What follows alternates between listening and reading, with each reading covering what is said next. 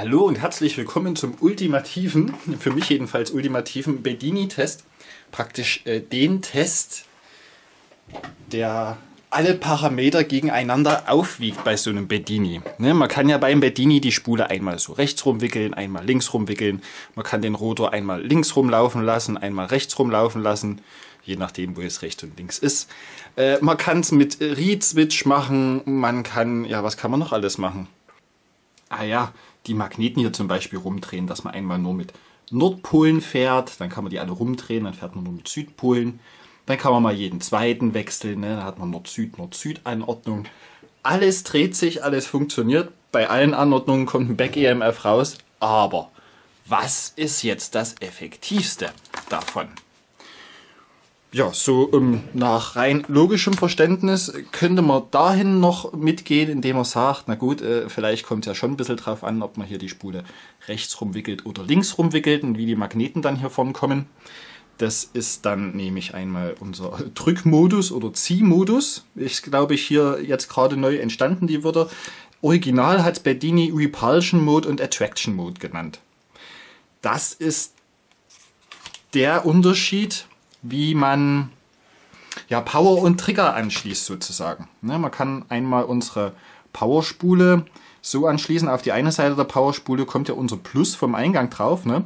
Dann kann man praktisch äh, Power einmal so reinschicken, dass wenn er powered vorn ein Nordpol entsteht, hier vorne an der Spule.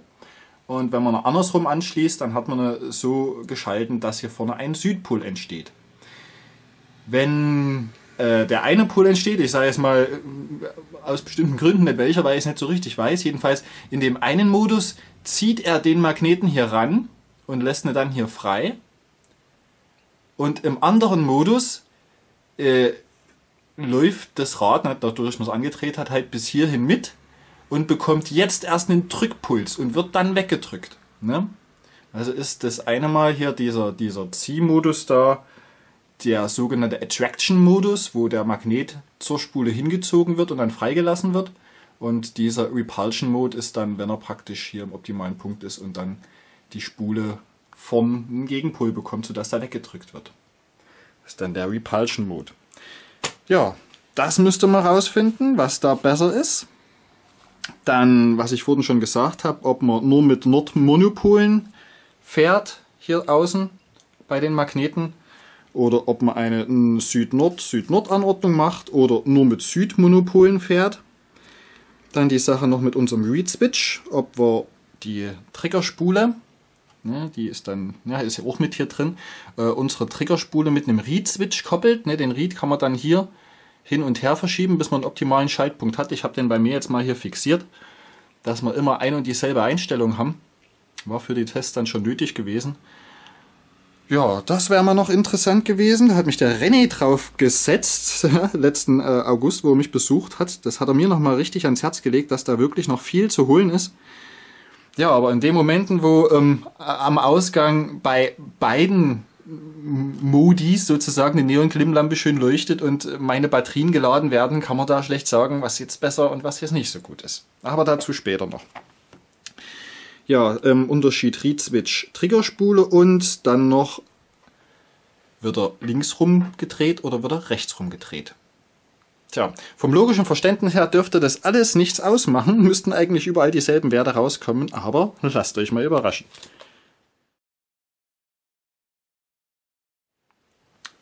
Der Read Switch hat die eigentliche Aufgabe, der Powerspule hier im optimalen Moment zu sagen, wann sie powern soll.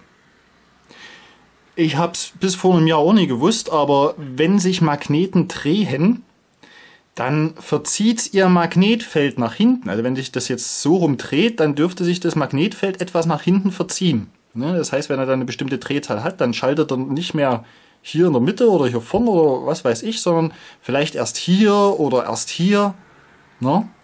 Also ähm, das würde jetzt im Praktischen heißen, wenn wir unsere Triggerspule hier in der Powerspule mit verwickelt haben, und unser Magnet kommt vorbei und erst jetzt praktisch induziert der, äh, der wird der Strom induziert für die Triggerspule und jetzt kommt der Strom für die Powerspule und jetzt powert die Spule erst. so dass der hier nur noch ein ganz kleines bisschen, gerade so viel bekommt, dass er überhaupt vorwärts bewegen kann. Ja, und dann ist auch schon der nächste da und wir haben einen Haufen Energie vernichtet. Deshalb die Vorgehensweise, den Trigger etwas rauszusetzen. Bei den ersten Versuchen, wo wir die Triggerspule hier vorne hatten, hat es aber auch noch nicht so richtig funktioniert. So, und jetzt, ähm, wo der René letztens da gewesen ist, hat er gemeint, einfach mal den Read-Switch hier vorne positionieren, wo er schalten soll und äh, die Triggerspule trotzdem da lassen, wo sie ist. Klingt komisch, funktioniert aber komischerweise.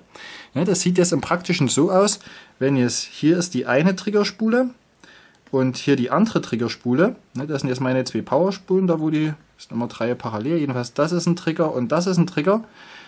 Der Trigger bleibt drauf. Das ist der Trigger, der hier drüben auf das Beinchen vom Kondi geht und auf dem Minus.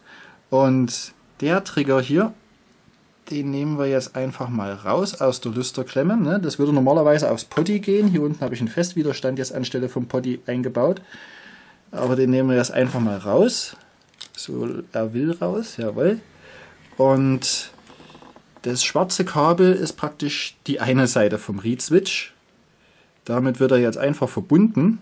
Praktisch, dass wir die Triggerspule und den Read in Reihe nehmen. Ne, soweit, soweit verstanden. Ne, also Triggerspule und den Read Switch in Reihe nehmen. So. Gut. Ist er dran? Ist dran. Wunderbar. So, und hier ist die andere Seite vom Read Switch.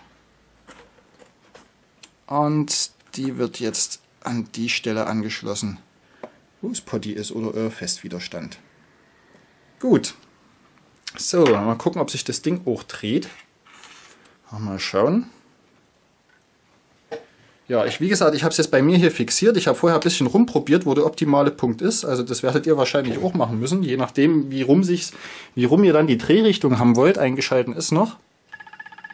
Ah ja, das ist gleich die richtige Drehrichtung. Gut, weil jetzt kann ich mal versuchen, andersrum geht es hier nämlich nicht. Ne? Seht ihr? Das geht hier nur in eine Richtung.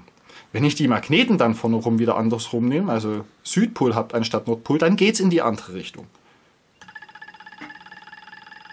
Gut.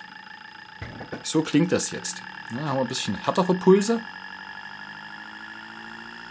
Ich glaube, ist das der Modus, wo die Neon-Klimmlampe auch schon bei 8 Volt kommt. Ne? Ich fahre jetzt immer, ich bin immer mit 8 Volt Eingangsspannung bin ich immer gefahren.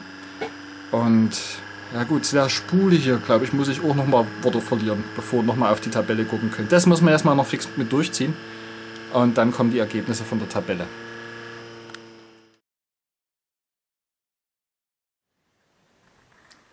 Die Spule hier. Ja, ich warte jetzt nicht von euch, dass ihr genau so ein Ding nachbastelt, weil ich war da Wochen drüber gewesen. Aber nur mal so jetzt als Info für die Werte, die dann hier rauskommen. Ne? Wahrscheinlich wird es mit einer normalen Spule auch funktionieren, aber falls nicht, könnte man hier mal dann weitersuchen. Ne? Ich habe es halt gleich mal gemacht und zwar ähm, habe ich da vier Drähte genommen, jeweils mit demselben Durchmesser und habe die verdrillt, alle gleichmäßig und habe dann lauter Pancake Coils gemacht sozusagen. Ne? Praktisch hier diese, diese erste Lage hier, ne? da geht hier erste Windung, dann zweite Windung, dritte, vierte Windung bis außen und dann ist es ja gar nicht so einfach, die dann so weiter zu wickeln. Wenn wir erstmal hier aufs vereinfachte Modell gucken, ne, wenn das jetzt so eine Pancake Coil ist, dann wie wickelt man dann die nächste Lage? Ich bin dann dahergegangen und habe dann bin dann von außen wieder, ne, also da habe ich Tonnen von Kleber verbraucht, so Sekundenkleber, äh, von außen dann wieder nach innen gegangen. Von innen wieder nach außen, von außen wieder nach innen und so weiter und so fort. Praktisch äh, dürfte die ziemlich hochspannungsfest sein, wenn ich das mal so sagen darf. Äh, deshalb für mich die perfekte Spule. Nur mal so jetzt als Nebeninfo für euch. Ne? Mit einer normalen Spule müsste es auch funktionieren. So, um jetzt mal im Detail die Versuchsanordnung nochmal euch zu zeigen, möchte ich euch sagen, dass wenn der Magnet so rum hier auf dem Kompass angezeigt wird, habe ich jetzt Nordpol außen. Ne, hier Nordpol außen. Ne, ich meine, wenn man es so einfach irgendwo hinhält, echt, ist da drüben Norden, habe ich hier noch irgendwo Magnete rumkullern? Ah, ist schlecht hier irgendwo einen Punkt zu finden, wo ich keine Magnete habe. Aber normalerweise müsste, ja, passt schon. Ne? Normalerweise ist da, wo jetzt das rote hin zeigt, Nord, unser Nordpol und da, da, wo das Ding hin zeigt, der Südpol. Aber Herr Thomas Alteig hat neulich ein schönes Erklärvideo gemacht, dass ja unser Kompass eigentlich zum ähm, magnetischen Südpol zeigt. Ne? Also wenn die rote Nadel vom Kompass dann praktisch hier zum Magneten zeigen würde. Jetzt ist es anders und jetzt zeigt, jetzt guckt uns der Nordpol an sozusagen. Ne? Also so habe ich das dann weiterhin dokumentiert. Was gibt es noch dazu zu sagen? Ja, meine Drehrichtungen. Ne? Wenn ich den Rotor praktisch hier mit meiner rechten Hand nach rechts angeworfen habe, habe ich rechtsrum dazu gesagt. Ne? Das ist dann bei mir hier in der Tabelle rechtsrum. Und wenn ich eine links von mir weggestoßen habe, das war dann linksrum. Ne? Ich kann nichts weiter dazu sagen. So habe ich es halt von meiner Intuition her gemacht und ich habe sowieso ein Problem damit mit diesem rechtsdrehend und linksdrehend. Das ist sowieso immer für mich so eine Sache, wo man sich da hinstellt. Wenn das Ding jetzt aufsteigend oder absteigend ist, dann kann ich mich eventuell dazu noch hinreißen lassen, da rechtsrum und linksrum zu erkennen. Aber wenn sich irgendwas nur so in zweidimensionaler Ebene dreht, dann rechtsrum und linksrum das sagen, da hört mir auf. Aber so habe ich es jetzt jedenfalls bei mir dann hier in der Tabelle dokumentiert. Ne? Dass wenn ihr es dann nachbauen solltet, dass ihr dann auch wisst, wie ich das hier gemacht habe. Den Ausgang haben wir hier wie folgt gemessen. Und zwar habe ich da einen 40 Volt Kondensator, der 74.000 Mikrofarad fassen kann. Und da habe ich gewartet, bis er hier bei 40 Volt gewesen ist. Ne? Multimeter mit angeschlossen und habe hier mit meiner Eieruhr dann immer die Zeit gestoppt, wie lange das ge äh, gedauert hat, bis der Kondensator auf 40 Volt gewesen ist. Ja. So, dann können wir mal den ersten Probelauf machen, würde ich sagen. Genau, das Netzteil habe ich immer eingeschalten gelassen, ne, weil ich habe bei dem hier mitbekommen, immer wenn ich ein- und ausschalte, ähm, habe ich da leicht unterschiedliche Voltzahlen anliegen, aber wenn ich es eingeschalten lasse, dann bleibt es bei der Voltzahl und ich habe dann lediglich dann hier.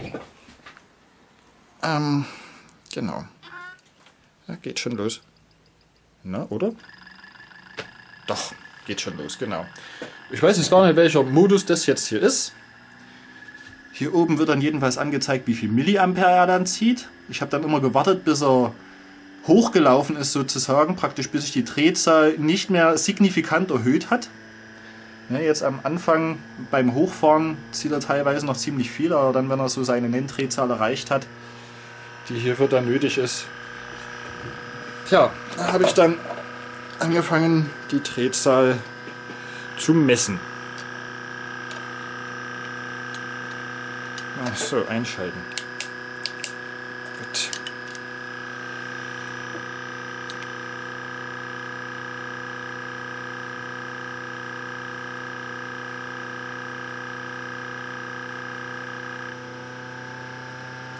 Ja, seht ihr, da bekommt er nochmal so einen Kick. Manchmal muss man ein bisschen warten. Also ich schätze jetzt mal, da wird sich so bei 2100 Umdrehungen einpendeln, wenn er hochgefahren ist. So lange wollen wir jetzt aber gar nicht warten. Ich habe bei den Tests jedenfalls immer so lange warten müssen. Bei den einzelnen. Und ja, wenn er dann hochgefahren ist, geht es dann hier ans Anklemmen an den Ausgang. Bei manchen Einstellungen ist die Drehzahl abgesackt, aber bei den meisten Einstellungen äh, hat sie sich dann auf Nenndrehzahl wieder normalisiert. Ja, und hier seht ihr, steigt der Kondi jetzt das eine mal schneller, das andere mal langsamer auf seine 40 Volt hinauf. Ja. Das waren die, die Versuchsanordnungen. Dann halt einmal mit diesen ganzen unterschiedlichen Parametern hier. Aber jetzt endlich nochmal die Daten hier zur Auswertung. Hier ist jetzt die Tabelle. Ich scanne sie mal schnell von links nach rechts durch. Ja, ich halte immer mal ein bisschen an, dass ihr mal ein Bildschirmfoto machen könnt. Wer sich das dann mal als Kompletttabelle zusammenstellen will. Ja, und hier nochmal so zur Erklärung wie ich das gemeint habe. Also einmal ist das Teil, also hier oben ist immer die, die Nord, also die, die Polanzeige von, vom, vom Rotor praktisch angegeben. hier oben in der Spalte. Das heißt jetzt praktisch, ach so, das habe ich ja vorhin gar nicht erwähnt. Ja, genau. Hm, den Test habe ich ja auch gemacht, ob es was bringt mit so einem Magneten hinten drauf. Ne? Einmal gegensätzlich den Magnet, Nord gegen Nord und einmal Süd gegen Süd. Ja, praktisch. Der kleine Magnet, der hier hinten auf den Ferrit dann draufkommt oder auf dem Eisenstab oder was ihr dann auch immer habt, damit geht's los. O heißt ohne, ne? also ohne so einen Magneten hinten drauf mit Nordpol Anordnung, nur Nordpolanordnung außen, Nordpol-Monopol nach außen zeigend, links rum heißt das L dann. Ne? Analog dann hier rechts rum. So, und dann habe ich angefangen, einen kleinen Magneten hinten drauf zu setzen, wo dann Nord gegen Nord gezeigt hat, dann zuerst links rum, zuerst rechts rum. Und hier seht ihr schon, hier steht NM, das heißt nicht möglich, ne, bei der, ähm, wenn man einen Read-Switch mit dazu nimmt.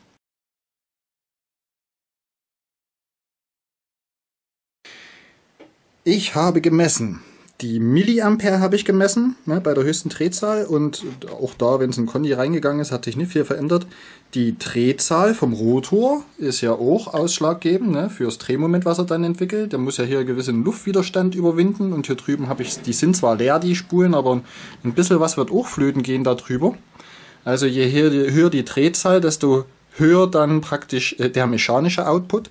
So habe ich den mechanischen Output gemessen und den elektrischen Output habe ich dann, wie gesagt, gemessen, indem ich die Zeit gemessen habe, bis dieser 74.000 Mikrofarad 40 Volt Conti bei seinen 40 Volt gewesen ist. So, und dieser Wert hier unten, ne, ich habe deshalb nur mal Wert hier hingeschrieben, weil ich absolut keine Ahnung habe, was die Zahl hier repräsentiert. Äh, ich habe mir irgendeine Formel gesucht, die die ganzen drei Werte ins Verhältnis setzt, dass man dann mit einem Mal ablesen kann, was das effektivste ist. Und zwar bin ich auf den Wert wie folgt gekommen.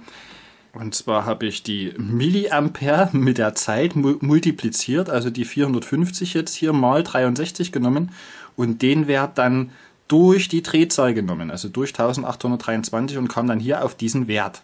So, da habe ich damit für mein Gefühl her, fragt mich jetzt nie, wie ich auf die Formel gekommen bin. Da saß ich irgendwie da und habe versucht, über irgendwelche Verhältnisse da alle Parameter so mit einzubringen, damit die, je nachdem, was besser und was schlechter ist, da einwirken können. Und äh, je geringer der Wert hier ist, desto höher ist die Effizienz. So, und da sticht ein Wert jetzt schon am Anfang richtig raus, und zwar ist das der Wert hier mit 8,66. Ne, da hat der, die Stromaufnahme war hier nur 325 Milliampere gewesen, ähm, bei 2240 Umdrehungen und in 65 Sekunden war der Kondi auf seinen 40 Volt gewesen. Ne? Und das alles ins Verhältnis gesetzt, ist das das aller, aller, aller effektivste. Und das ist dann dabei rausgekommen, indem ich ohne Gegenmagnet gefahren bin, also nur mit nackigem Ferrit hier in der Mitte, also ohne den Magnet, der jetzt hier drauf ist. Und Nordpolanordnung und das Ding rechts rumdrehen lassen. Ne? Also normalerweise links, aber hier, ich habe es ja vorhin erklärt, wie ich rechts rum und links rum gesehen habe hier bei dem Test. Ne? So, ja, der äh, hat komplett herausgestochen und mit Ried. Ne? Also nicht mit der normalen Triggerspule, also schon mit der Trigger, aber mit Read in Reihe dann dazu, wie ich so als letztes dann gezeigt habe. Der Wert hat wirklich komplett herausgestochen. Was noch eine kleine Besonderheit gewesen ist, im achso, Attraction-Modus. Ja, wie ist der, ja, wie habe ich den Attraction-Modus jetzt? Ah, das ist das einzige Fragezeichen, was ich hier mal offen lassen muss. Ich habe mit einer Einstellung angefangen von Power und Trigger, muss ich jetzt mal ehrlich sagen. Habe die als ein was deklariert und habe die andere dann als die andere genommen.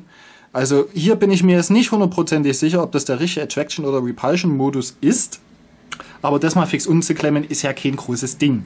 Ja, und wenn ich jetzt hier gucke zwischen Attraction Modus, ähm, dann müsste das im Repulsion Modus mit der Südanordnung, Südanordnung ohne ja, da komme ich dann nur hier drauf. Auf 10,17. Also es hat schon einen kleinen feinen Unterschied, muss ich sagen. Ne? Also die eine Anordnung, die geht nur mit Südpol in Rechtsrumlauf und die andere Anordnung nur mit Nordpol in Linksrumlauf, genau. Ja, aber kriegt ihr dann selbst bei euren Versuchen raus. Okay, um mich nochmal noch mal mehr zu verwirren, wir bleiben jetzt erstmal bei dem Repulsion-Modus hier. Da war es bei einigen Einstellungen so gewesen, dass er sehr viel gezogen hat, eine sehr geringe Drehzahl hatte, wie zum Beispiel hier bei der Anordnung. Und nachdem ich den Kondi angeklemmt habe, ist die Stromaufnahme runtergegangen, die Drehzahl schlagartig hochgegangen. Das war hier in dieser Reihe einmalig gewesen. Hier hat man es einmal gehabt, deshalb das ist das immer mit dem Sternchen hier. Hier nochmal, hier nochmal, hier auch nochmal. Ja, das ist, das habe ich noch als Besonderheit mit rausgefunden. Die Werte sind im Vergleich her, also da ist der Read eindeutig besser, egal im, im Repulsion-Modus oder im Attraction-Modus, obwohl der hier, der haut, die hauen ziemlich raus. Also hier, da geht es nicht so effizient. Dabei muss ich äh, noch dazu sagen, der Read ist ja hier jetzt fixiert. Ja? Und der mag wohl so rum in die eine Richtung als auch in die andere Richtung mit den jeweiligen Polen funktionieren, aber äh, um es richtig eindeutig zu machen, hätte ich da wahrscheinlich wirklich eine, ähm, tja, eine, eine, komplette Position nehmen sollen, die ich äh, auch spiegeln kann auf die andere Seite. Und das geht hier wahrscheinlich nicht so genau. Also hier ist wahrscheinlich noch Optimierungsbedarf da. Da war die Read-Einstellung höchstwahrscheinlich nicht richtig gewesen. Aber trotzdem bisher die Kombination hier die effektivste. Ja, und äh, die Befürworter von dieser Nord-Süd, Nord-Süd-Anordnung, ähm, muss ich dazu sagen, es gab hier zwar einige, hier in 64 Sekunden aufgeladen und von der Drehzahl her war es auch ziemlich moderat gewesen. Das ist jetzt der Block hier, wo hier überall das mit dem Read-Switch nicht möglich gewesen ist, ne, bei Nord-Süd, Nord-Süd-Anordnung. Doch wäre auch möglich gewesen, aber habe gedacht, das ist sinnlos, weil da tut er dann nur bei jedem zweiten schalten eventuell. Oder geht's überhaupt nicht? Ich glaube, das geht gar nicht. Müsst ihr mal probieren, aber ich glaube, das geht sowieso nur mit Monopolen. Und tja, da sah das dann so aus. Jetzt will, will ich nichts Falsches sagen, muss ich mal sagen. Ich probiere es dann nochmal kurz mit Nord-Süd, Nord-Süd-Anordnung, aber ich habe von vornherein gedacht, das bringt überhaupt nichts, das nochmal rauszumessen. Weil Herr Bedini ist ja nicht ohne Grund auf die Monopolanordnung gegangen. Ne? Der hat die ganzen Tests schon vor uns gemacht hier. Ich wollte es ja nur nochmal für mich selbst auch live sehen. Hier unten, das weiß ich nicht genau, ob es ein Messfehler gewesen ist. Da könnte es dann gewesen sein, dass er nochmal an der Drehzahl eingebrochen ist. Da bin ich mir nicht sicher. Aber ja, eindeutig sticht das trotzdem heraus, diese Anordnung hier. So. Gut. Genug verwirrt erstmal. No? Bis später.